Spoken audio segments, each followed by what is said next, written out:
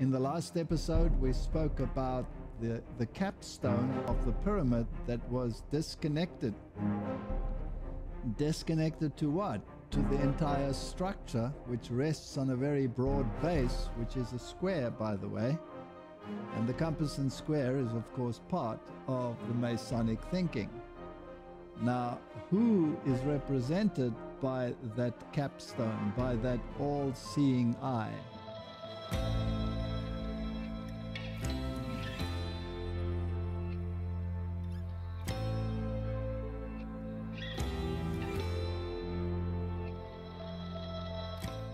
Willkommen zu unserer nächsten Folge von Truth Matters. Beim letzten Mal haben wir mit unserer Reise gerade erst begonnen. Wir entfernen Schicht nach Schicht, um herauszufinden, wer tatsächlich die Welt steuert und warum. Und auch warum dich das heute betrifft. Denn wir wollen dir helfen zu entschlüsseln, was tatsächlich passiert und wie es dein Leben und das deiner Familie in der Zukunft beeinflussen wird. Wir haben das letzte Mal damit geendet, uns George Bush und John Kerry anzuschauen, welche ihrer Zeit Präsidentschaftskandidaten waren für die Demokratische und Republikanische Partei. Und ich denke, wir werden hier ein Muster sehen, wenn wir uns mit diesen Organisationen und hochrangigen politischen und gesellschaftlichen Personen beschäftigen. Denn oft besetzen sie öffentlich entgegengesetzte Positionen und oft argumentieren sie auch gegeneinander. Steckt da mehr dahinter? Ist das ein systematisches Vorgehen, was jedoch für die Öffentlichkeit wie ein freies Wahlsystem aussieht? Das waren jetzt für den Anfang natürlich sehr viele Fragen. Was wir also tun werden, ist einen Schritt zurückgehen und wir wollen Mackenzie und Walter begrüßen. Danke, dass ihr wieder mit dabei seid, um uns diese Dinge zu öffnen. Hi. Danke, es ist mir eine Freude. Hi. Also ich denke, die Menschen verstehen nicht wirklich diesen Kontrast zwischen den beiden Parteien und ihren Ursprung, wo sie herkommen wie ihre Mitglieder ausgebildet wurden und dass sie eigentlich dieselben Hintergründe haben. Was denkt ihr? Wie hängt das mit der öffentlichen Sichtweise darüber zusammen, was Sie für freie Wahlen halten? Nun, Sie sagen, dass zwei sehr starke Parteien, welche entgegengesetzte Ideologien vertreten, eigentlich das ideale System für jedes Land darstellen. Zwischen den beiden kann man die öffentliche Meinung in eine bestimmte Richtung steuern.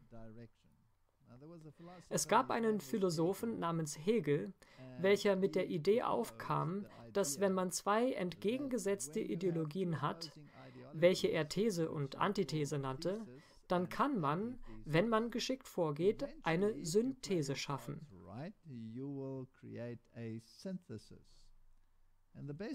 Und der beste Weg, um ein System der Synthese zu erreichen, ist, die beiden Parteien sich aneinander aufreiben zu lassen, und zwar durch eine Konfliktsituation. Und während der Konflikt größer wird, nimmt das Bedürfnis nach Ruhe und Frieden zu. Und ich denke, wenn wir uns die amerikanischen Wahlen von diesem Jahr anschauen, dann sehen wir, dass der Konflikt ein alarmierendes Ausmaß erreicht. Noch nie zuvor in der Geschichte hat es solch einen enormen Konflikt und Zusammenstoß von Ideologien gegeben, wie wir es in diesen Wahlen gesehen haben. Das ging sogar so weit, dass einige Leute von einem Bürgerkrieg gesprochen haben.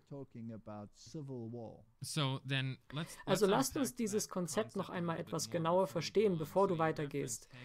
Du hast den Philosophen Hegel erwähnt und diese Hegelsche Dialektik. Da gibt es also zwei entgegengesetzte Meinungen, welche seiner Vorstellung nach aneinander aufgerieben werden sollen, um eine Synthese zu erhalten. Könntest du uns noch ein Beispiel dafür geben, wie das funktioniert? Nun, lasst uns das politische System anschauen. Zum Beispiel hatten wir in diesen Wahlen in dem einen Lager eine sehr kapitalistische Sichtweise darüber, wie die Dinge laufen sollen, während man in dem anderen Lager eine sehr sozialistische Sichtweise darüber hat, wie die Dinge laufen sollen. Und das sogar bis zu dem Punkt, wo man eine sehr kommunistische Ideologie vertritt, entgegengesetzt zu einer kapitalistischen Ideologie. Und nun hat man zwei sehr große Extreme. Der sehr linke Flügel innerhalb der Demokratischen Partei macht Druck für eine geradezu kommunistische Agenda. Man schaut sich also Bewegungen an, wie zum Beispiel Black Lives Matter. Die haben als Grundlage eine kommunistische Ideologie. Das haben ihre eigenen Sprecher verkündet. Wenn man also diese beiden aneinander aufreibt, dann wird man eine Art Sozialismus entwickeln, welcher weder Kapitalismus noch Kommunismus ist, und das wäre dann eine Synthese. Nun, wer würde davon profitieren, die Welt zu diesem Punkt der Synthese zu bringen? Das ist die Frage.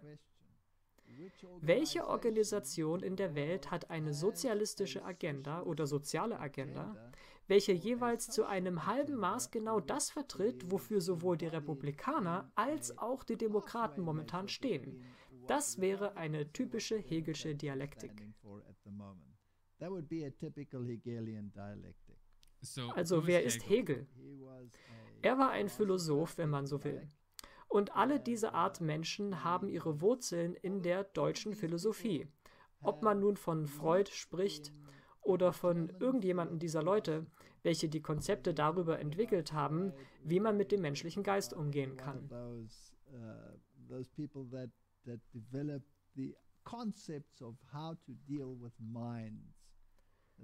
Und da gelangt man letztendlich auch zu Hegel, welcher die Philosophie hatte, zwei Ideologien aneinander aufzureiben.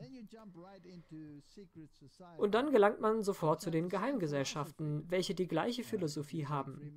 Wenn man sich die Freimaurer anschaut, welche wir letztes Mal besprochen haben, so haben sie ein Konzept namens Ordo ab Chaos, also Ordnung aus dem Chaos.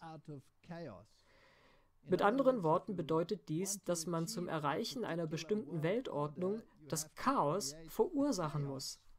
Dazu reibt man die Ideologien gegenseitig aneinander auf, bis das Chaos unerträglich wird, und dann bekommt man die Synthese, die man möchte. Man kann das auf politischer Ebene tun oder auf wirtschaftlicher Ebene und man kann es auch auf der religiösen Ebene tun.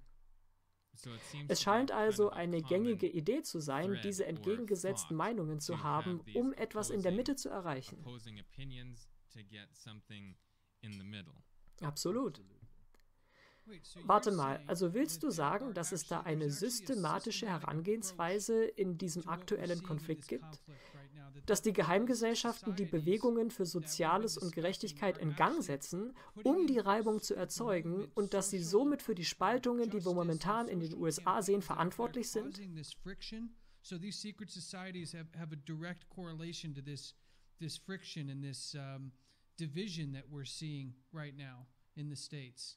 So. Correct. Korrekt. Und wenn wir nochmal an unser letztes Gespräch denken, da haben wir über die Tempelritter gesprochen und über die Demolays.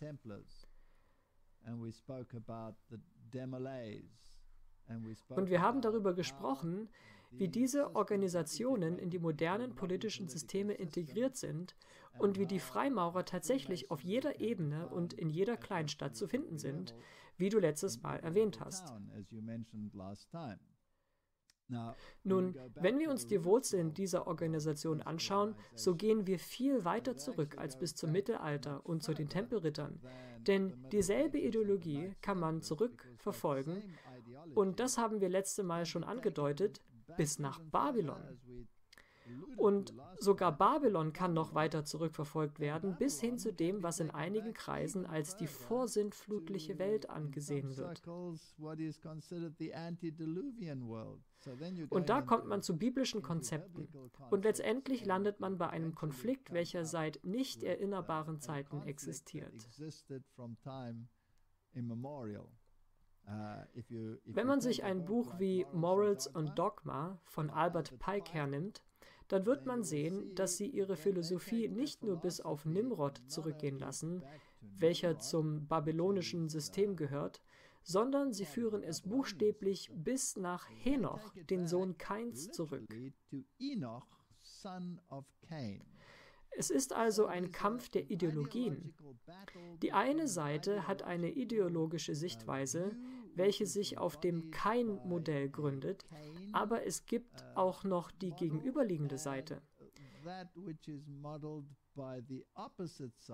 Denn tatsächlich gab es zwei Henochs, welche entgegengesetzt zueinander stehen. Der Henoch, welcher durch die Linie Adams und Seth kam, also der Henoch, welcher mit Gott wandelte, und man hat aber auch noch die Linie Kains, und sein Sohn war Henoch.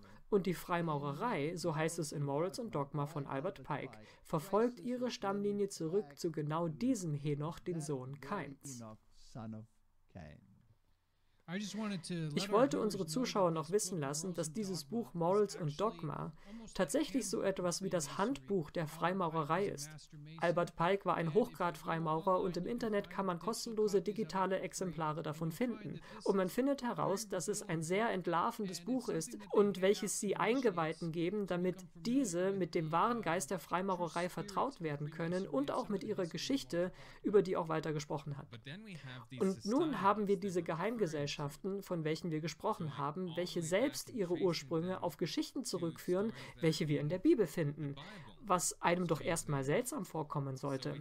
Und wir haben diese seltsame Symbolik aus Ägypten und ich denke, in den nächsten Folgen werden wir uns auch noch etwas mehr mit der Symbolik beschäftigen, denn diese ist extrem interessant. Sie beziehen sich also selbst auf biblische Geschichten und andere geschichtliche Ereignisse. Aber wenn wir nun von diesen Geheimgesellschaften sprechen, wann war eigentlich der Zeitpunkt, an dem sie das erste Mal nach Amerika kamen? Wie können wir das nachvollziehen? Beeinflussen sie tatsächlich die Dinge, welche wir gerade in den USA sehen? Ich meine, wir haben das Video mit George Bush gesehen, wo er sagt, er sei Mitglied bei Skull and Bones. Aber welche Auswirkungen hat dies tatsächlich auf die Gesellschaft und die Regierung? Hat es überhaupt eine Auswirkung?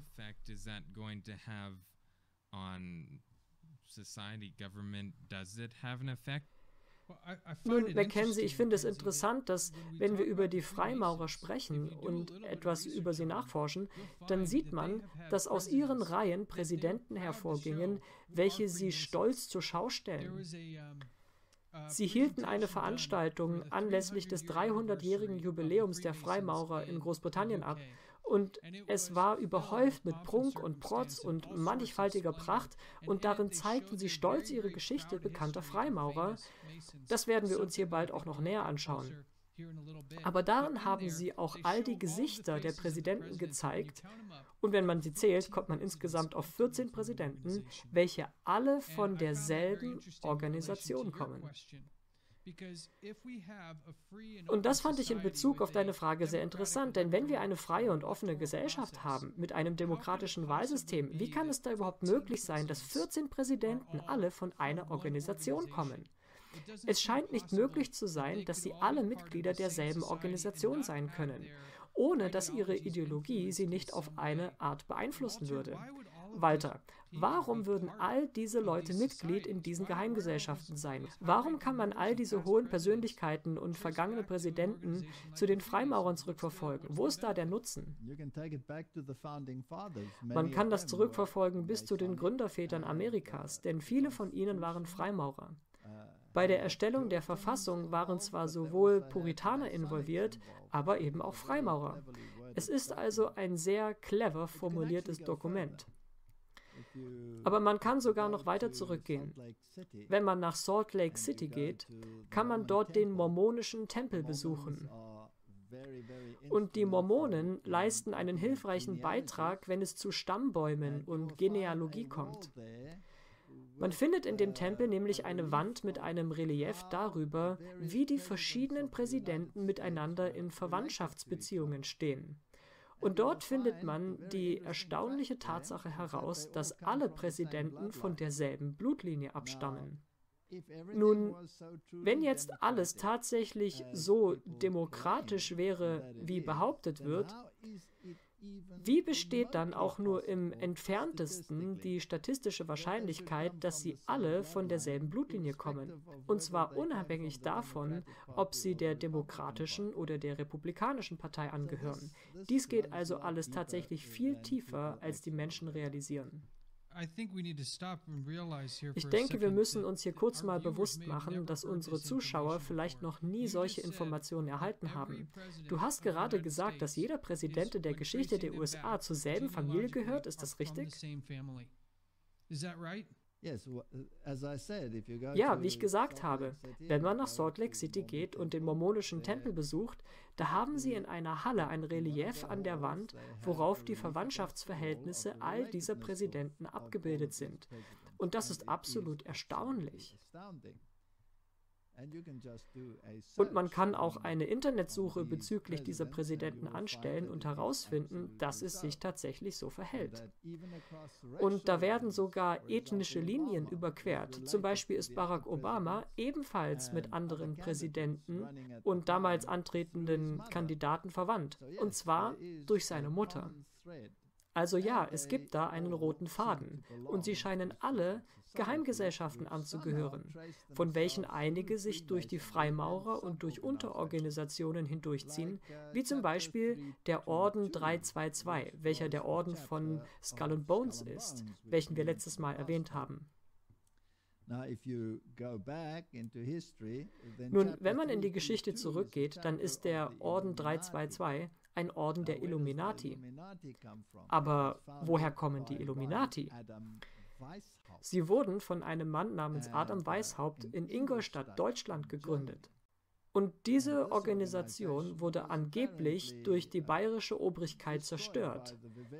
Aber war das tatsächlich so? Und wer war Adam Weishaupt? Nun, er war ein Jesuit. Und damit wird es jetzt sogar noch interessanter. Die Illuminati sind also eine Organisation, welche von einem Jesuiten gegründet wurde. Jetzt werden Sie natürlich sagen, dass er ein Ex-Jesuit war. Aber welchen Beweis kann man schon anführen, dass man wirklich ein Ex-Jesuit ist? Außer dass es einfach gesagt wird. Nur weil er jetzt mit einer Organisation wie den Illuminati in Verbindung gebracht wird. Und dann schaut man sich eine Rede von George Bush dem Vater an, wo er von den tausend Lichtpunkten, der Erleuchtung und all diesen Dingen spricht, was offensichtliche Bezüge zu diesen Geheimgesellschaften sind und von der neuen Weltordnung, welche zu errichten sei. Also ja, es gibt diesen roten Faden. So yes, there is this common thread. Und die Frage, die man sich stellen muss, ist, wer befindet sich an der Spitze dieser Organisation? Wer wäre in der Lage, nicht nur die Ideologien in sich zu vereinen, nicht nur die religiösen Aspekte, sondern auch die Blutlinien. Wer wäre in der Lage, dies alles zurückzuverfolgen, nicht nur bis Babylon, sondern, wie Albert Pike sagt, den ganzen Weg zurück bis hin zu Henoch, den Sohn Kains. Und was war die Ideologie? Die Ideologie von Henoch war, eine Stadt. Eine Stadt. Er war der Begründer von Städten. Die ganze Menschheit sollte Teil eines einzigen Systems sein.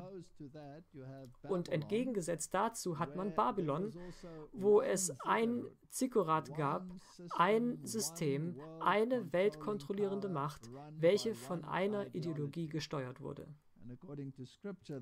Und gemäß der Bibel wurde dies vereitelt, indem die Sprachen verwirrt wurden und die Menschen zerstreut wurden. Nun, wenn man also das Konzept dieser einen Stadt haben möchte, muss man nach Babylon zurückgehen. Und wenn man in die Bibel schaut, so wird dort ein System namens Babylon beschrieben. Und es wird auch als eine Stadt bezeichnet, und zwar auf einem Berg. Und es wird auch als ein religiöses System beschrieben, als eine Mutter. Weiterhin wird es als abgefallenes System beschrieben und so hat man wieder das Kain- und Abel-Konzept darin involviert. Also schlussendlich führt durch all das als Grundlage von all dem ein ideologischer roter Faden. Und der ganze Rest sind öffentliche Manifestationen. Aber hinter den Kulissen gibt es einen philosophischen, ideologischen oder auch religiösen roten Faden. Wir haben also all die Präsidenten, welche nicht nur über ihr Blut miteinander verbunden sind, sondern auch durch diese Geheimgesellschaften, welche einige Dinge hochhalten, die wir uns auch schon angeschaut haben. Eines davon ist die Geschichte. Sie kennen ihre Geschichte, ihre Abstammungslinie, denn ansonsten wären sie nicht in der Lage, diese Linie durchweg aufrechtzuerhalten. Außerdem haben sie diese gemeinsamen Symbole, wodurch ihre Verbindung ersichtlich wird. Das werden wir uns noch genauer ansehen. Und sie haben alle diese Ideologien, welche sich sehr gleichen. Es ist dieses eine Weltkonzept.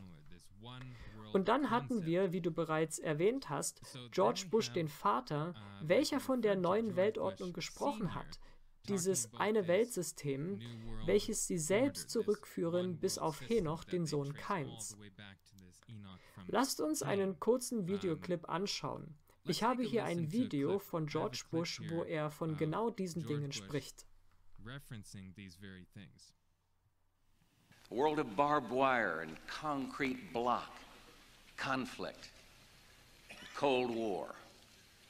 Now we can see a new world coming into view. A world in which there is the very real prospect of a new world order. We have before us the opportunity to forge for ourselves and for future generations a new world order. When we are successful, and we will be, we have a real chance at this new world order an order in which a credible United Nations can use its peacekeeping role to fulfill the promise and vision of the UN's founders. Also er hat hier einige sehr interessante Dinge gesagt. Er erwähnte die neue Weltordnung und er sagte, wenn wir erfolgreich sind und das werden wir sein. Er ist sich also sehr sicher, dass dies stattfinden wird. Und dann hat er auch die Gründer der Vereinten Nationen erwähnt. Also, wie du bereits gesagt hast, es ist nicht allein die Ideologie dieser Leute, das ist der Punkt, auf den wir hinaus wollen. Diese Leute handeln nicht einfach aus ihrem eigenständigen Denken heraus. Sie sind eine Gemeinschaft. Sie haben diese Ideologie, welche sie alle gemeinsam haben. Und sie zieht sich durch ihre Blutlinien hindurch, durch die Geheimgesellschaften. Und wir wollen diese Frage beantworten, welche Ideologie ist das, welche bereits die Gründer hatten und haben. Er erwähnt dort auch Winston Churchill. Nun, ich habe schon mal die Freimaurerloge in London besucht. Da gibt es einen Museumsteil. Und dort stellen sie den Freimaurerschutz von Winston Churchill zur Schau. Er hat also auch denselben Hintergrund. Und aus dem Zweiten Weltkrieg heraus entstanden die Vereinten Nationen. Erst war es die Liga der Nationen, dann die Vereinten Nationen. Und die Philosophie der Vereinten Nationen ist nicht nur politisch, sondern es gehören auch viele religiöse Organisationen dazu. Dazu gehört sogar eine Organisation namens der Tempel des Verstehens. Und es gibt einen Gebetsraum bei den Vereinten Nationen, welcher wie ein Dreieck oder Zikkurat ohne Schlussstein aufgebaut ist und darin steht ein schwarzer Altar.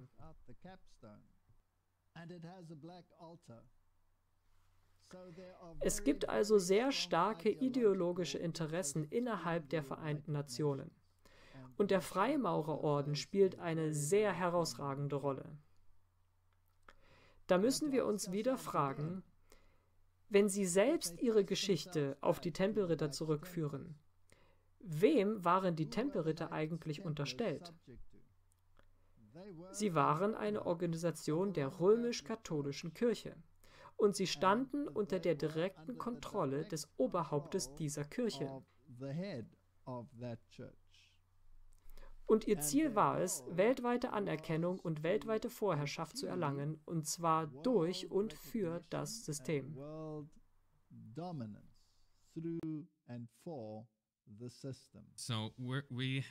Wir haben also diese Geheimgesellschaft, welche ein wie immer auch geartetes Wissen hat, und du sagst, dass sie mit dem römischen Katholizismus in Verbindung steht.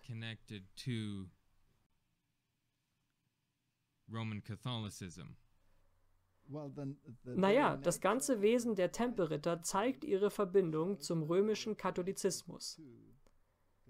Nun, als die Tempelritter aufgelöst wurden, wurde ihre Ideologie aber nicht aufgelöst. Ihre Ideologie wurde lediglich durch andere Systeme und Organisationen weitergeführt, wie zum Beispiel durch die Rosenkreuzer.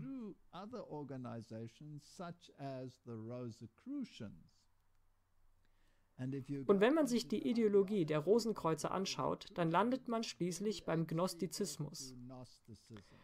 Und der Gnostizismus ist eine Religionsform, welche letztendlich den Menschen vergöttlicht. Wenn man das durch die Geschichte zurückverfolgt, so kommt man am Ende wieder zu dem Konflikt zwischen Kain und Abel. Denn dort bestand derselbe Konflikt. Uh,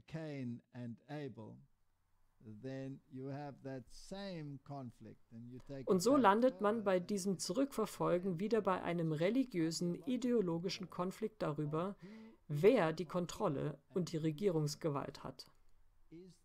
Gibt es da eine höhere Macht, welche Gesetz und Recht delegiert, oder ist die Menschheit allein für ihre Zukunft verantwortlich? Und genau dort setzt der Gnostizismus an, nämlich mit der Vergöttlichung des Menschen. Man hat heute auch Bewegungen in der Welt wie die New Age-Bewegung, welche sehr stark die Vergöttlichung des Menschen vertritt. Es gibt Aussagen im Katechismus der römisch-katholischen Kirche, welche im Prinzip sagen, dass Christus Mensch wurde, damit der Mensch Gott werden kann. Also dieses gnostische Element, welches bei den Rosenkreuzern zu finden ist, findet man auch sehr tief verwurzelt in diesen Organisationen. In Ordnung, lasst uns das etwas genauer entfalten, denn wir haben einiges angesprochen. Du hast den Gnostizismus erwähnt, aber auch die Rosenkreuzer, also welche, wenn man sich die Geschichte anschaut, eine große Rolle bei der Gründung der USA als Nation gespielt haben. Die Rosenkreuzer haben auch das sogenannte Ephrata-Kloster im Jahr 1786 in Pennsylvania gegründet. Ephrata Cloister in Pennsylvania in 1786. Wir sehen also schon sehr früh in der amerikanischen Geschichte, dass die Rosenkreuzer bereits hier waren. Und sie stehen auch in enger Verbindung mit der Freimaurerei. Einer der Gründer von beiden, Sir Francis Bacon, war eng mit beiden verknüpft. Ein anderes Mal können wir uns das vielleicht näher ansehen. Und, und dann hast du über den Gnostizismus gesprochen. Und Albert Mackey sagt, dass der große Buchstabe G, welcher im Symbol der Freimaurer auftaucht, sie haben dort einen Zirkel und ein Rechteck und in der Mitte ein G, für den Gnostizismus steht. Das ist das, was Albert Mackey sagt, und er selbst ist ein freimaurerischer Autor. Wir haben also all diese verschiedenen Konzepte, welche von diesen verschiedenen Organisationen kommen all these different concepts now coming out from these different societies. Wenn ich jetzt ein Zuschauer wäre, für den das alles neu ist, dann wäre mir jetzt ein Themenwechsel aufgefallen. Wir haben über diese hochrangigen Amtsträger in sehr bekannten Machtpositionen gesprochen, welche mit Finanzen zu tun haben, mit Ländern und Regierungen. Aber in unserem Gespräch ist etwas sehr Entscheidendes geschehen. Und ich denke, das ist ein sehr wichtiger Punkt für unsere Zuschauer, den sie nachvollziehen sollten. Wir haben über diese Organisationen gesprochen, also die Freimaurer, die Tempelritter, die Rosenkreuzer, die ägyptische Mythologie, den Gnostizismus, und so hat das Gespräch auf einmal eine sehr spirituelle Natur angenommen.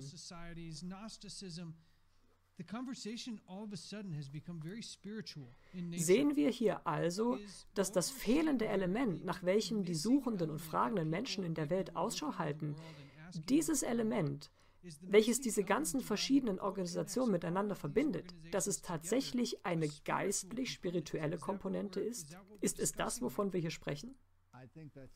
Ich denke, exakt davon sprechen wir. Im letzten Teil haben wir über den Schlussstein der Pyramide gesprochen, welcher abgetrennt war. Aber getrennt von was?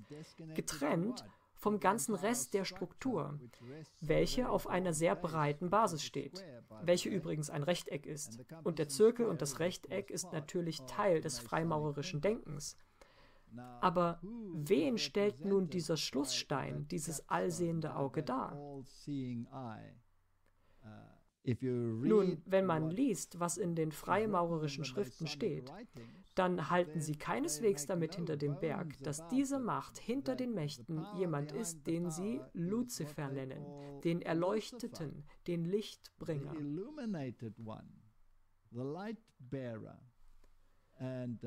Und wir haben heute viele Symbole solcher Lichtbringer. Ihr habt da zum Beispiel eine Statue in eurem Land, welche Freiheitsstatue genannt wird, welche eine Lichtfackel trägt, nicht wahr? Und diese Ideologie des Lichtbringers, welche die freimaurerische Bruderschaft als die brodelnde Macht Luzifers in ihren Händen bezeichnen, genau diese Ideologie ist das verbindende Element. Nun, dieser Konflikt, über den wir gesprochen haben, welcher jetzt eine sehr geistliche Dimension angenommen hat, bricht gelegentlich aus. Und in der Regel bringt dies große Auseinandersetzungen mit sich. Man kann sich da beispielsweise die Zeit der Reformation anschauen. Die Reformation war eine Bewegung zurück zur Autorität der Bibel. Und zu dieser Zeit hat die Medici-Familie, welche eine Bankenfamilie, eine königliche Familie und eine päpstliche Familie war, in Wirklichkeit in Rom regiert. Und die Medizis haben alle Schriften über den Gnostizismus und die griechische Philosophie bei sich gesammelt und sie ihrer Bibliothek hinzugefügt.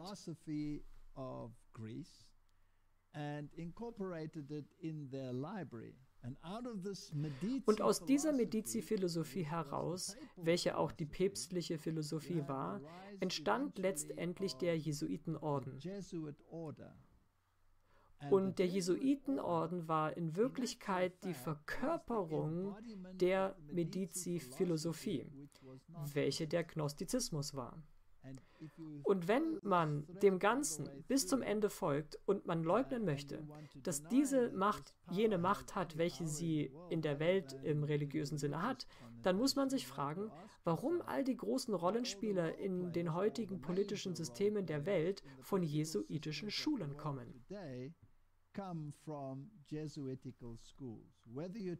Ob man nun von Präsidenten in Europa spricht, welche von Jesuiten ausgebildet wurden, ob man nun von gegenwärtigen Präsidenten oder Vizepräsidenten spricht, von Generalstaatsanwälten oder Richtern am obersten Gerichtshof, sie kommen im Moment alle aus derselben Ecke und sie scheinen alle eine jesuitische Ausbildung genossen zu haben oder gehören zu Geheimgesellschaften, welche mit dem römischen Katholizismus verknüpft sind.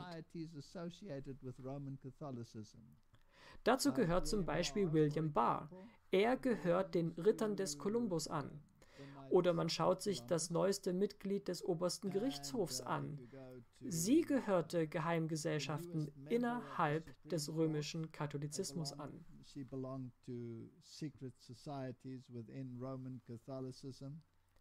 Und Mike Pence und Donald Trump hatten beide eine jesuitische Ausbildung. Die Leute, die in die Pandemie involviert sind, wie Dr. Fauci, haben jesuitische Ausbildung und sind sehr tief in jesuitische Philosophie involviert. Es gibt also keinen Zweifel darüber, dass diese Institutionen von einer Machtstruktur gesteuert werden, welche von genau dieser Organisation mit ihren gnostischen Wurzeln kommt.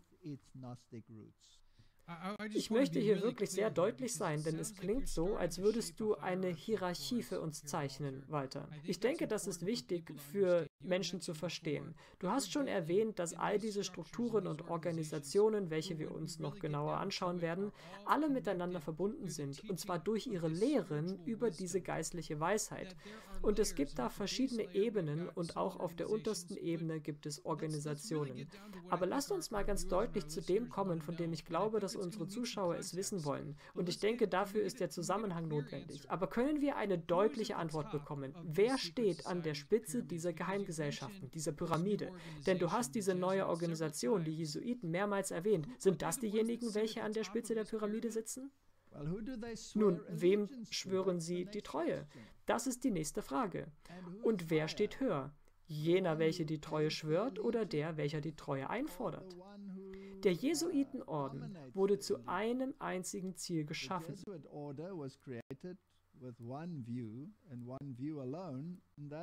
Und dieses Ziel ist, die Machtstruktur des päpstlichen Systems wiederherzustellen, welches im Mittelalter die Vorherrschaft hatte, aber durch die Reformation verloren ging. Nun, sie schwören der päpstlichen Macht, welche Unfehlbarkeit beansprucht, die Treue. Und wenn man die Philosophie des Papsttums zurückverfolgt, so hat es nicht nur eine religiöse Philosophie, sondern auch eine politische Philosophie. Und es hat auch Unmengen an Mitteln dafür verwendet, diese politische Philosophie zu verbreiten. Man schaue sich die religiösen Kriege auf der Welt an. Man schaue sich die Strukturen an, welche eingerichtet wurden, um die soziale Agenda voranzutreiben, wie sie von Rom verkündet wird, sogar in der letzten Enzyklika von Papst Franziskus.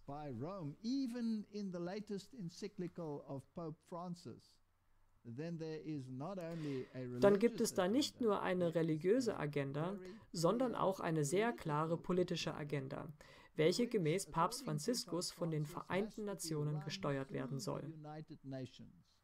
Und auch George Bush hat in seiner Rede über die neue Weltordnung genau das Gleiche gesagt, nämlich, dass die Vereinten Nationen ermächtigt werden sollen, um dies umzusetzen.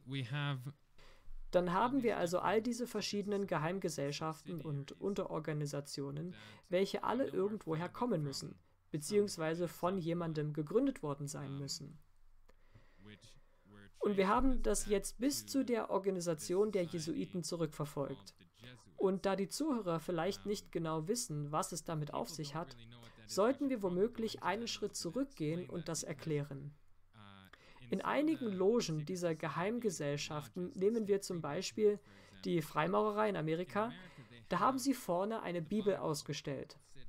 Aber wenn Sie jetzt eine Bibel bei sich voranstellen, warum leugnen Sie dann die biblische Version von Henoch und haben einen anderen Henoch, nämlich den Sohn von Kain, und nicht den Henoch, welchen die Bibel hervorhebt?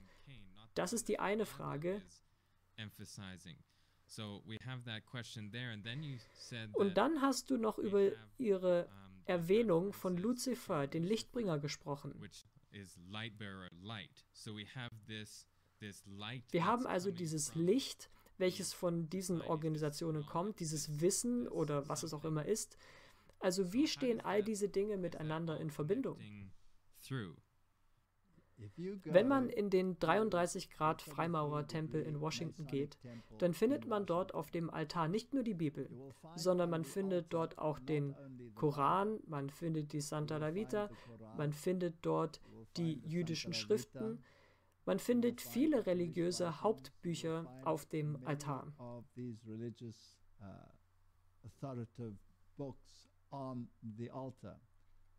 Mit anderen Worten stellen sie alle Teile eines Mosaiks dar.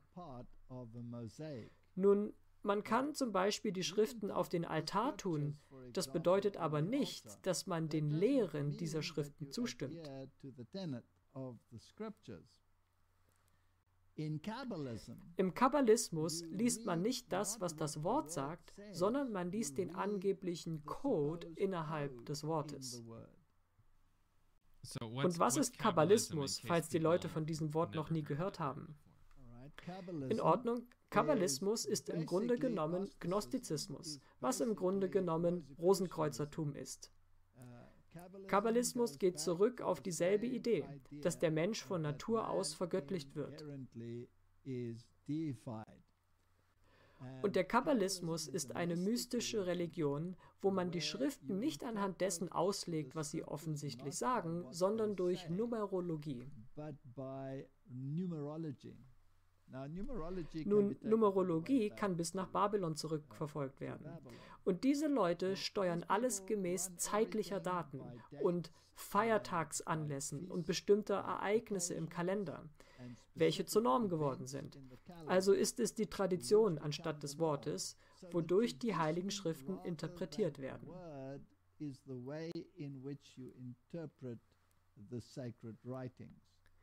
Wenn Sie also eine Bibel auf den Altar legen, dann heißt das nicht unbedingt, dass Sie den buchstäblichen Worten darin glauben, sondern Sie verwenden sie als Gerüst für kabbalistische Auslegungen. Sind also die Freimaurer und die Jesuiten Kabbalisten? Absolut. Wir haben also dieses Konzept einer gnostischen Ideologie, in welcher sie im Grunde genommen eine Vergöttlichung ihrer Person wollen. Basically, they're wanting then glorification of their persons. Nun, in gewissem Sinne ja, aber auch nein. Die Hierarchie ist es eigentlich, die vergöttlicht wird.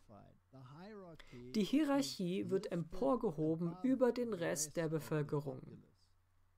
Das ist der Grund, weshalb im römischen Katholizismus, und das haben viele Päpste gesagt und wurde zuletzt erst durch Papst Benedikt selbst bestätigt, es wurde sehr deutlich verlautbart, dass die Hierarchie der Kirche über den Rest der Bevölkerung gehoben wird. Und die Gottheit wird ganz spezifisch in dieser Hierarchie manifestiert, welche Magisterium genannt wird. Und das sind die Bischöfe und das päpstliche System darüber. Nun, dieses System kann bis nach Babylon zurückverfolgt werden, wo es einen babylonischen Priesterkönig gab und welcher die absolute Herrschaft sowohl über das politische als auch über das religiöse System hatte. Er hatte auch einen Titel und hatte ganz bestimmte Macht inne und wurde vergöttlicht. Und dieser Titel hat sich durch die Geschichte hindurch erhalten. Denn als die Medo-Perser schließlich Babylon eroberten, da floh diese religiös-politische Priesterschaft nach Pergamon. Und von dort wurde es schließlich an die Römer weitergegeben. Und der römische Eroberer eignete sich den Titel an, nämlich Pontifex Maximus, einschließlich der Vergöttlichung, welche in dem Titel mit einbegriffen war. Nun, genau dieser Titel wurde später auf das päpstliche System übertragen. Es gibt viele Schriften vom römisch-katholischen System, in welchen sie das Papsttum als einen weiteren Gott auf Erden beschreiben.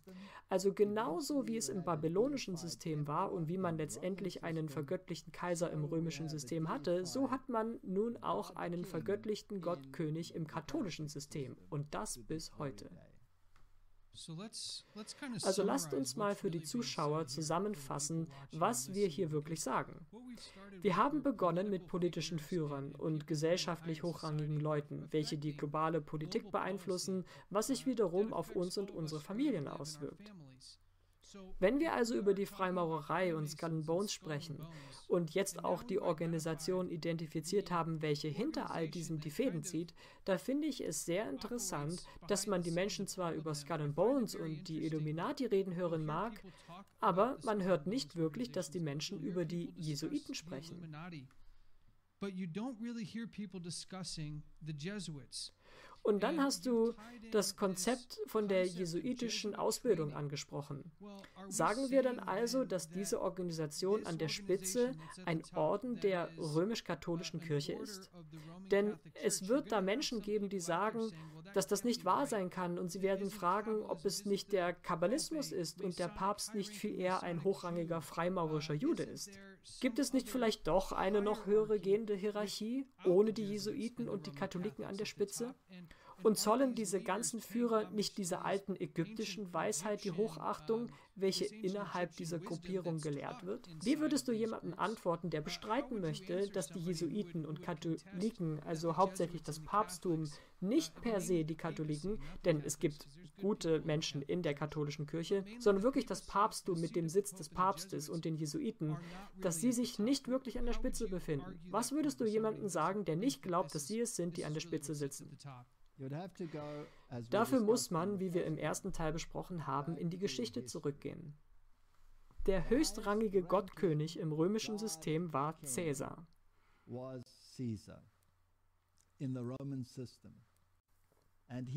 Und er hatte die absolute Gewalt. Nun, diese Autorität und dieser Titel wurden auf das päpstliche System übertragen. Das ist einfach Geschichte. Und Papst Vigilus stattete den päpstlichen Thron mit dem vollen Titel, den Gewändern und der Autorität eines Cäsars aus. Er wurde zum Richter der Ketzer ernannt und ihm unterstand alle Macht der Regierung und der Religion, und zwar für die ganze Zeitspanne des Mittelalters. Das war die herrschende Macht.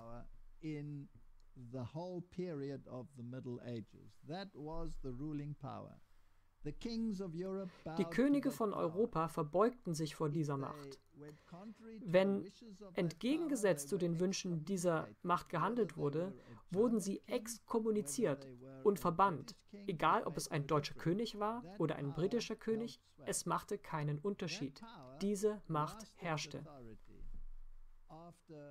Aber diese Macht verlor ihre Autorität nach der Reformation und besonders im Zuge der Zerstörung des politischen Systems. Das heißt, im Jahr 1798 verlor das Papsttum seine Macht, aber im Jahr 1929 wurde dem römisch-katholischen System wieder eine politische Macht gegeben, als nämlich Mussolini das politische Gebiet, den Vatikanstaat, und die politische Macht dem Papsttum zurückgab. Nun, die Frage, die wir uns stellen müssen, ist, welches religiöse System auf der Welt agiert auch als ein politisches System? Und man wird dieses Modell in einigen muslimischen Ländern vorfinden, zum Beispiel im Iran. Und man wird herausfinden, dass im römisch-katholischen System das Papsttum sowohl ein religiöses als auch ein politisches System ist. Der Unterschied zwischen den beiden ist, dass in der römischen Philosophie der Staat eine sehr wichtige Rolle zu spielen hat, und zwar getrennt von der Kirche. Aber die allumfassende Herrschaft kommt von der Hierarchie der Kirche, wohingegen in islamischen Systemen der Staat gleichzeitig auch das religiöse System ist.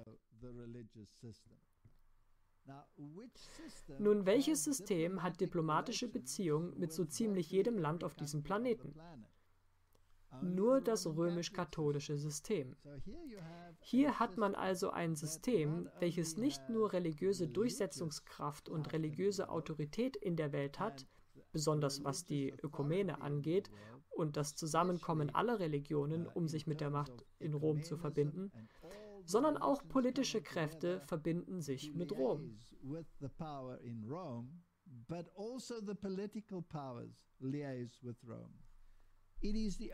Es ist das einzige System auf dem Planeten, welches sich sowohl im geistlichen als auch im politischen Bereich dafür qualifiziert, eine beaufsichtigende Rolle zu spielen, die alles überschaut.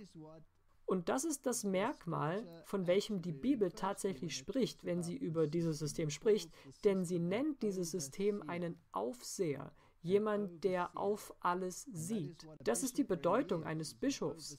Er ist ein Aufseher. Aber ein Aufseher über was? Nur über das Religiöse oder auch über das Politische? Das heißt, wenn diese Merkmale auf diese Organisation zutreffen, dann muss sich diese Organisation diesen Schuh auch anziehen. Und lautet die uh, Bedeutung des Wortes katholisch nicht auch weltweit? Ja, das bedeutet es. Also direkt in ihrem Namen sagen sie, dass sie ein universales System sind. Nun, das ist natürlich viel Stoff, den man aufnehmen muss, besonders wenn es in einer kurzen Zeitspanne ist, wie in diesen ersten beiden Podcasts über dieses Thema. Wir haben also diese Merkmale. Es gibt diese sogenannte globale Agenda beziehungsweise diese universale neue Weltordnung, wie man das auch immer nennen mag. Und wir haben das auch schon anhand der Pyramide auf der Dollarnote gezeigt. Dort steht auch Novus Ordo Seclorum geschrieben, was neue Ordnung der Zeitalter bedeutet. Es geht also bei allem, was wir uns hier ansehen, um diese neue Ordnung und sie muss in allen Aspekten weltweit sein, ob nun religiös oder politisch. whether it's religious or political.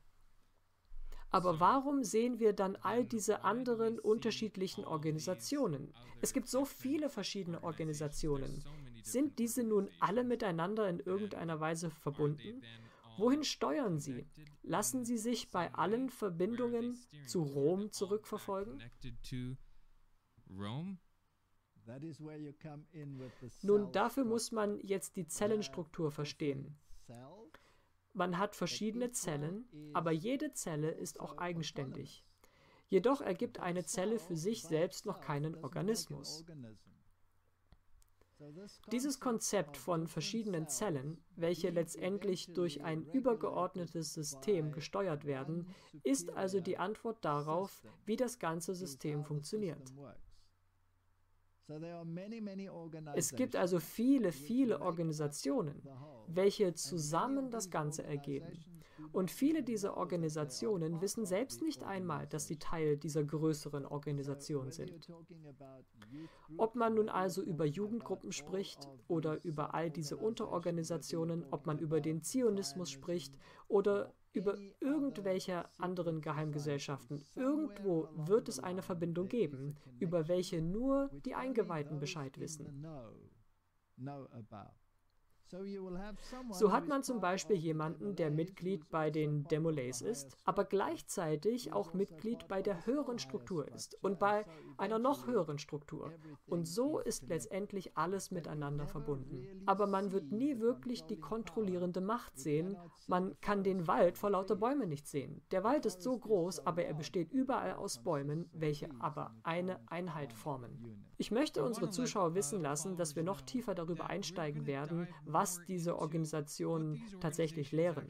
Aber Walter, ich möchte noch auf etwas hinweisen, was in deinem Leben geschehen ist. Wenn ich mich recht erinnere, so hast du versucht, Beweise zu finden, welche belegen, dass hochrangige Freimaurer mit dieser Hierarchie der jesuitischen päpstlichen Organisation in Verbindung stehen. Ich glaube, es war so, dass du bei einer Begebenheit nach einem deiner Vorträge plötzlich regelrecht in einen Schrank gezogen gezogen wurdest. Könntest du uns vielleicht etwas über die Art der Information berichten, die du dort erhalten hast? Ich meine, wir liefern diese Informationen hier fast so, als wäre es Allgemeinwissen, aber wir versuchen einfach nur sehr klar und deutlich zu sein. Aber in Wirklichkeit hast du, Walter, in deinem eigenen Leben einige sehr interessante Erlebnisse in Bezug darauf gehabt, wie du diese Informationen erhalten hast. Und außerdem, was hat dir diese Information offenbart über die Verbindung zwischen diesen beiden Organisationen? Nun, ich habe über genau diese Themen Vorträge gehalten und dabei selbst die Schlüsse gezogen, indem ich die Punkte miteinander verknüpft habe. Ich bin dem Pfad gefolgt und der Pfad leitete mich in eine Richtung. Und in meiner früheren Karriere habe ich sehr stark auf die Tatsache hingewiesen, dass ich glaube, dass dort in der Tat eine Verbindung zur römischen Hierarchie besteht. Und nach einem dieser Vorträge hatte ich ein Erlebnis, wo mich jemand in einen Schrank zerrte und mir sagte, dass er Informationen hätte, welche meine Theorie bestätigen würden. Aber ich dürfe keine Kenntnis darüber haben, wer mir diese Information verschafft hat. Denn natürlich ist es in diesen Organisationen so, dass wenn man Dinge verrät, es Konsequenzen zur Folge hat. Und die Leute wollen diese Konsequenzen vermeiden. Nun, bei einer anderen Begebenheit zog mich dieselbe Person wieder so zur Seite, dass ich ihn nicht sehen konnte, denn er kam von hinten. Und er übergab mir eine Menge Bücher, welche den römischen Katholizismus mit den Geheimgesellschaften verbanden.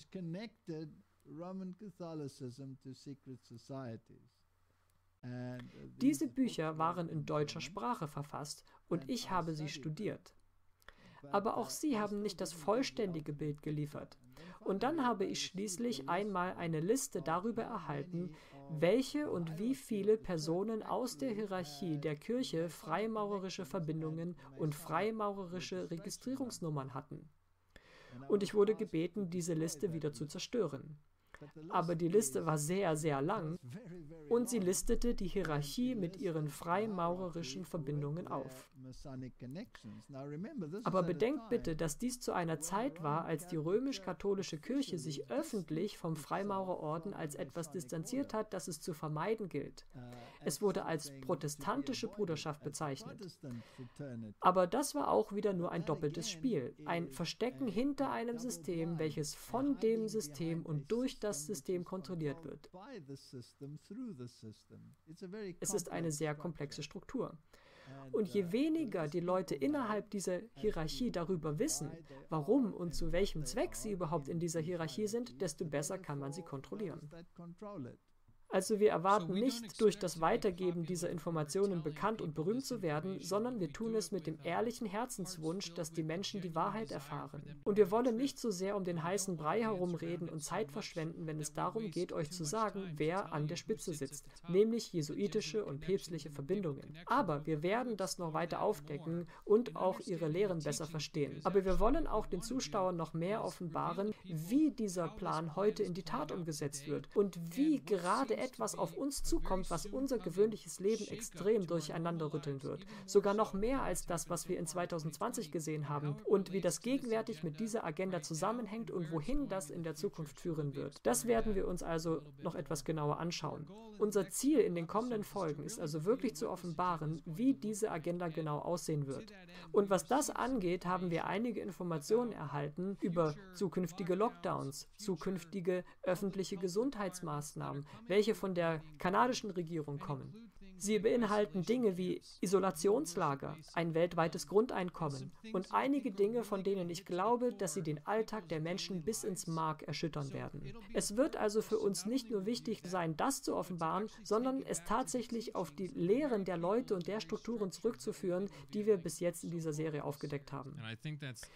Ich denke, das ist ein sehr erwähnenswerter und wichtiger Punkt, denn jetzt geschehen diese Dinge. Aber warum geschehen sie? Und darüber werden wir in der nächsten Folge im Detail sprechen, denn unsere Zeit ist jetzt um. Aber wir haben offensichtlich diese jesuitischen Verbindungen.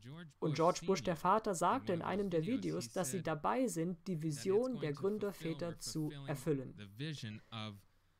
Nun, worin bestand diese Vision?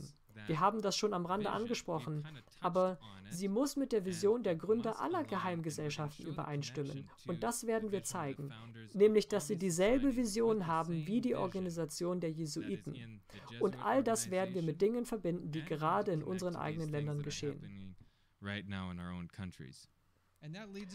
Und das bringt uns zum Schluss dieser Folge. Danke Walter und Mackenzie und ich hoffe, ihr Zuschauer konntet viel Information hieraus mitnehmen. Aber stellt sicher, dass ihr weiter mit dabei seid, wenn wir diese Dinge noch mehr entfalten werden. Und schaut, dass ihr und eure Familien vorbereitet seid auf das, was ganz sicher in der nahen Zukunft auf uns zukommen wird. Bis bald. Danke.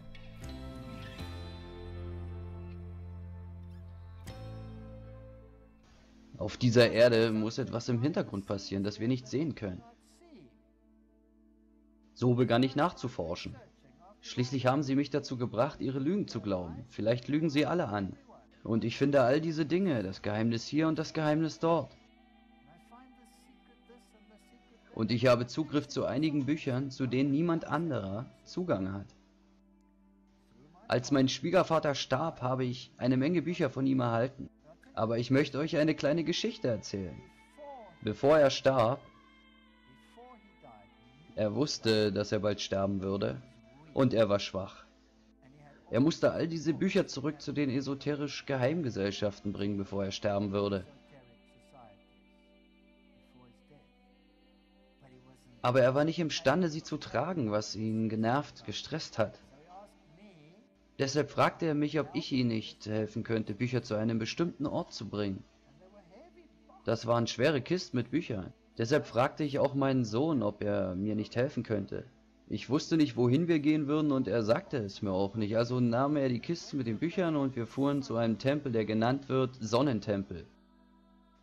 Als wir in diesen Sonnentempel hineingingen, sagte ich, wir sind in einem esoterischen Tempel.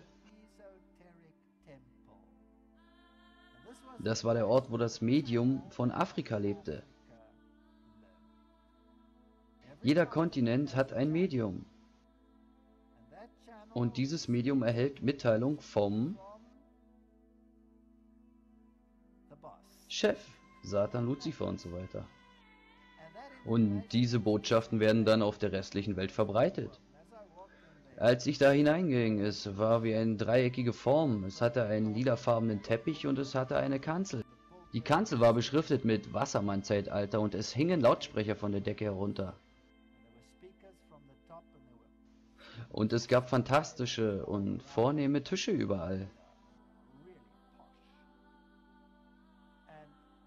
So brachten wir die Bücher dorthin und mein Schwiegervater dachte, wir bringen sie hinein und gehen wieder hinaus.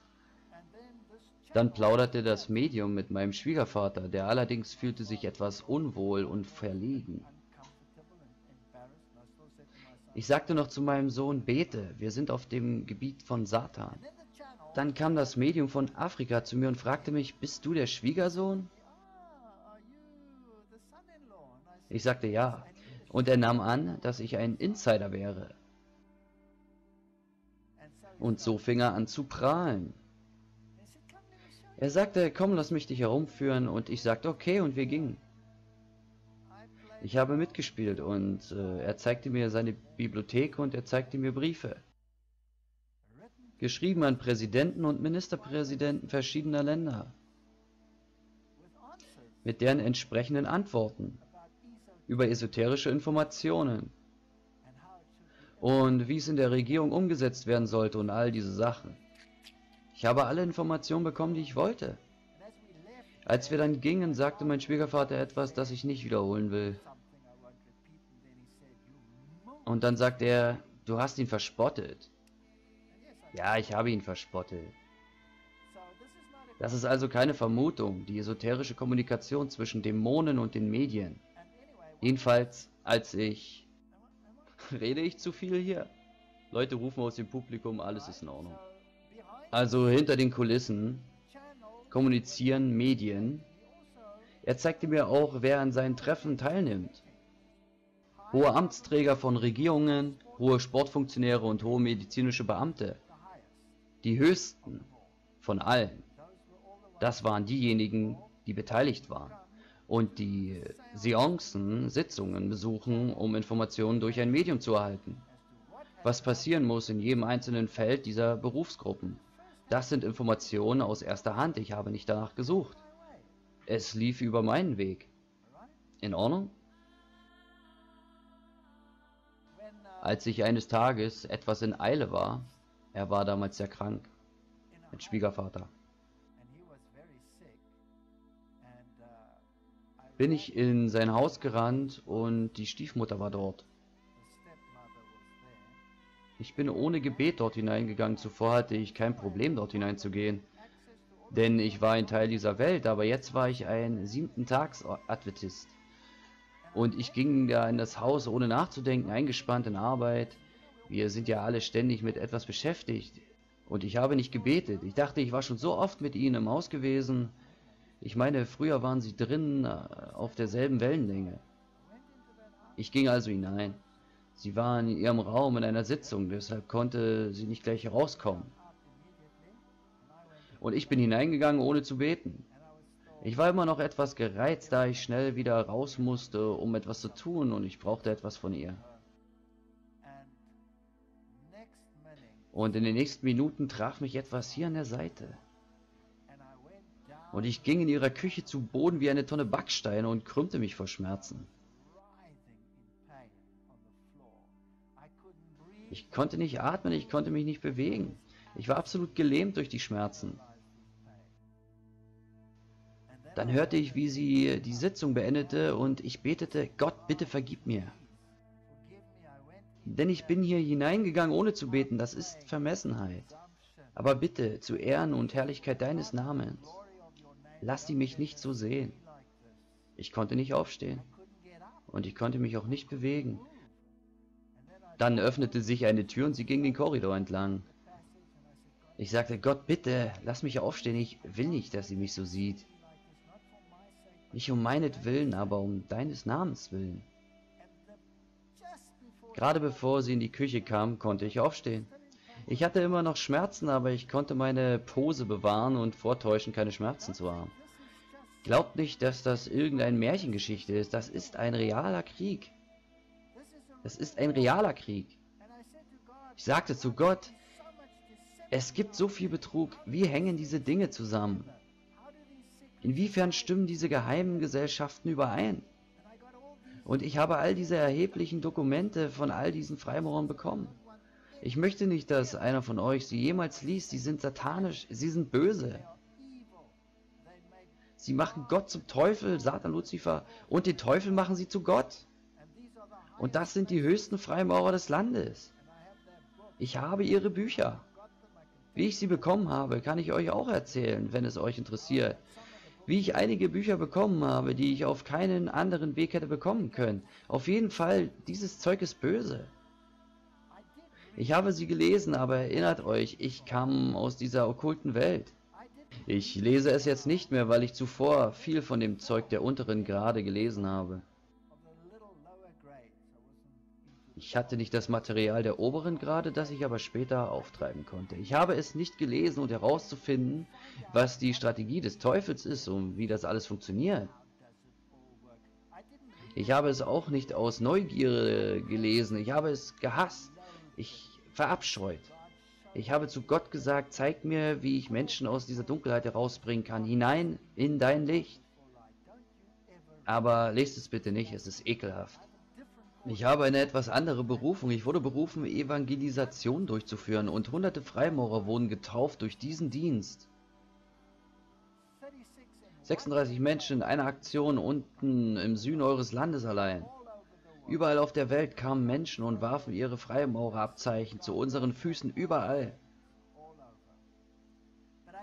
Aber ich hatte nicht die Verbindung, was zwischen dem Katholizismus und äh, den Geheimbünden im Gange ist. Ich hatte es nicht. In Deutschland hielt ich eines Tages einen Vortrag und ich hatte das Bild, alle Stücke des Puzzles kamen zusammen. Ich hatte das Teil und jenes Teil und ich wusste, sie mussten irgendwie verbunden werden. Ich sagte im Vortrag, dass diese verbunden werden müssen. Aber ich hatte sie nicht. Am Abend nach dem Vortrag, als alle aus dem Saal gingen, war ich der Letzte dort. Ich bin immer der Letzte, der draußen ist. Menschen stellen Fragen und zur damaligen Zeit musste man noch die Dia-Bilder wegpacken. Es war nicht so wie heute, dass du einfach deinen Laptop schließen konntest, deine Tasche packen konntest und raus bist du. Nein, nein, nein, wenn du zwei Vorträge gehalten hattest, musstest du hunderte von Dia-Bildern wieder einsortieren. Ich ging nach draußen und die anderen mussten den Wagen packen. Wir machten uns bereit und die Ausrüstung war verstaut. Ich ging den Flur hinunter und als ich entlang ging, packte mich eine Hand und zog mich in eine Toilette. Ich dachte, das war's. Ich bin tot. Und die Stimme sagte mir, wenn du dich umdrehst und mich siehst, dann wirst du sterben. Und er sagte, was du heute Abend gesagt hast, ist sehr gefährlich, aber es ist wahr. Doch du hast keinen Beweis. Ich habe ihn. Ich werde es dir geben. Aber wenn du mein Gesicht siehst, dann stirbst du. Dann sagt er, morgen oder übermorgen werde ich dich wieder kontaktieren, aber du darfst mich nicht sehen. Am nächsten Tag ging ich sehr ängstlich an dieser Tür vorbei. Nichts passierte. Ich ging hinunter und ich war fast draußen. Dort war ein Raum ähnlich wie ein Foyer. Und die Hand packte mich von hinten, zog mich hinein und sagte, dreh dich nicht um. Und er gab mir einen Haufen Bücher. Und er sagte, geh jetzt hinaus und schau nicht zurück. Und er sagte übrigens, schreibe deine Faxnummer auf. Ich werde dir etwas zusenden, wenn du versprichst, dass du die obere Hälfte abschneidest und verbrennst. Weil dort steht die Nummer vom Absender. Wenn du versprichst, es zu verbrennen, dann werde ich es dir zusenden. Und dann ging ich hinaus. Es war nur ein Stapel Bücher. Doch nun hatte ich Verbindung zwischen dem Katholizismus und den geheimen Gesellschaften. So hatte sich das Ganze entwickelt. Verbindung zwischen diesen und ich dachte, uff, das ist starker Stoff. Ich fange an, die Verbindungen zu sehen, fügte sie zusammen. Eines Tages erhielt ich einen Fax mit all den Logennummern der Bischöfe und den Namen der Logen, in der sie waren. Ich schnitt den oberen Teil ab und verbrannte es, weil ich es versprochen hatte. Ich weiß also nicht, wer es mir gegeben hat. Ich weiß nicht. Er war gruselig. Dann, als ich begann, die anderen Dinge zu untersuchen, die anderen Geheimschriften. Es gibt viele Dinge, die Blavatsky schreibt. Unsere eigenen Menschen, niemals aufgewachsen in der esoterischen Welt, sind so naiv. Gott segne sie. Sie würden fragen, wer zum Henker ist Blavatsky. Würden Sie das nicht sagen? Wer ist sie? Und vor ein paar Jahren, ungefähr vier Jahre ist es her, benötigte ich dringend einige Zitate von Blavatsky, weil sie sagt bestimmte Dinge über Bibelübersetzungen. Und sie sagte einige Dinge über die Kirche, die Siebtag-Adventisten, dass sie die einzigen sind, die der neuen Weltordnung widerstehen können. Ich habe alle Schriften von Blavatsky auf einer CD, so wie du mit deiner CD von Ellen G. White, kann ich alle ihre Schriften abrufen. Aber sie sind nicht alle auf der CD vorhanden. Du bekommst nicht alles. Du kannst die Bücher erhalten, du kannst sie auf Amazon erhalten, alle Bücher und Schriften von Blavatsky. Aber nicht alles ist darin enthalten. Nur der innere Kreis der Geheimgesellschaften besitzt die waschechten Bücher. Ich benötigte jene Bücher. Ich erinnere mich vor vier Jahren, denk daran, ich bin jetzt 21 Jahre siebten Tag Adventist. Ich erinnere mich an den Sonnentempel. Und ich sag zu meiner Frau, sie werden die Bücher haben, niemand sonst hat sie. So betete ich darüber. Und ich sagte, okay, wenn sie uns öffnen, dann sagen wir einfach, wer wir sind. Aber wenn ich alleine gehe, wird mich niemand hineinlassen. Doch wenn sie mitkommt und sagt, sie ist die Tochter von dem und dem, vielleicht lassen sie mich dann rein. Und es war wie Sesam öffne dich. Sie öffneten die Tür und ließen mich hinein. Ich sagte ihnen, dass ich gerne die Bücher von Blavatsky hätte. Doch er sagte, du kannst sie nicht bekommen. Du kannst sie nicht bekommen, aber er zeigte mir die anderen Bücher, die er hatte. Unter anderem waren dort Bibelkonkordanzen, esoterische Bibelkonkordanzen, in denen sie dir erzählen, Luzifer ist der wahre Sohn Gottes und alles in der Bibel ist verdreht. Er sagte mir auch, es war aber nicht dasselbe Medium. Dieses war inzwischen verstorben, es war ein anderes Medium. Dieser erzählte mir, dass er Theologen dieser Welt ausbildete. Das ist doch interessant, oder nicht? Er bildete die Theologen aus. Dann erzählte er mir, dass er der Einzige ist, der alle Schriften in ihren ursprünglichen Pracht besitzt. Ich sagte ihm, dass ich sie brauche. Ich möchte darin nur ein oder zwei Sachen finden. Er sagte, du kannst sie nicht haben. Er fragte mich, zu welcher esoterischen Gruppe ich gehöre.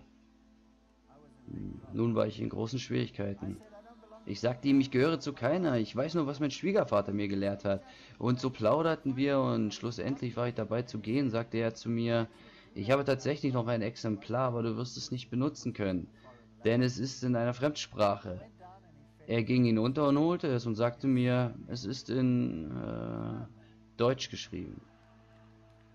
Walter Veit spricht also Nebensprache auch Deutsch. Wie er sagt, mein Herz wurde seltsam warm. Aber ich beherrsche mich und sagte, oh, das ist aber schade. Vielleicht kann ich ein Wörterbuch verwenden. Als ich ihn fragte, ob ich es kaufen könne, sagte er mir, dass man es nicht bezahlen kann. Sie sind unbezahlbar. Aber am Ende bin ich mit ihnen hinausgegangen, nur um euch zu zeigen, wie einige dieser Informationen zustande kamen. Es gab Menschen, die mitten in der Nacht an meine Tür geklopft haben und gesagt haben, hier ist ein Buch für dich. Du kannst es für fünf Stunden haben. Ich bin ein Hochfreimaurer. Wenn jemand gesehen hat, dass ich es dir gebe, dann bist du tot. Das sind Schriften aus unserem inneren Kreis. Auf diese Art und Weise habe ich meine Informationen bekommen, durch Wunder, absolute Wunder.